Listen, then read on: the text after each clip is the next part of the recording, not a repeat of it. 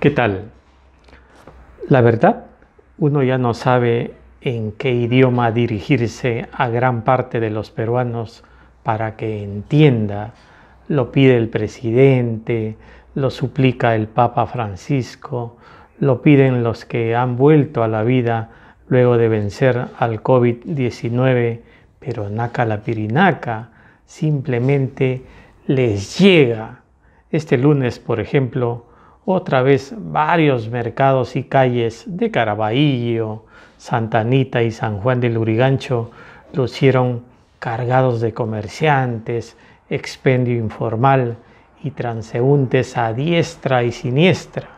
Un disloque total.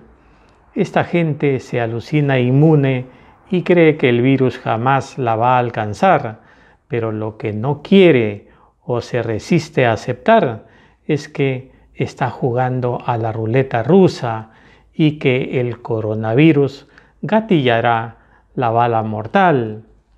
Esta resistencia compulsiva al orden y a la vida en general nos hace visualizar que terminada la cuarentena, o sea, aquí nomás la próxima semana, se puede reavivar la pandemia en su grado máximo y mandar al tacho todo el esfuerzo económico y mental que el gobierno y muchos connacionales han hecho para frenarla.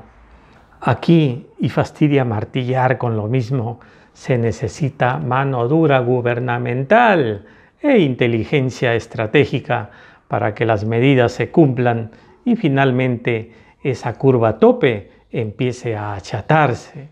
España estuvo por los suelos con las estadísticas de la enfermedad y el sábado la población volvió a las calles con una sonrisa de oreja a oreja porque ¿saben qué? Hicieron la tarea con la cuarentena y la cifra de contagios y muertos disminuyó ostensiblemente. Nosotros que vamos a retomar una supuesta normalidad poco a poco, debemos mirarnos en ese espejo la madre patria ahora cumple sin chistar una serie de franjas horarias para las diversas actividades, como pasear, trabajar, etc. Con ojo crítico les digo, basta ya de tanta irresponsabilidad, como hemos visto en Caquetá y Surquillo. Nosotros le estamos dando de comer al virus en los mercados, y eso no es otra cosa que alimentar a la muerte. Esto fue todo por hoy. Los espero en mis redes sociales. Hasta mañana.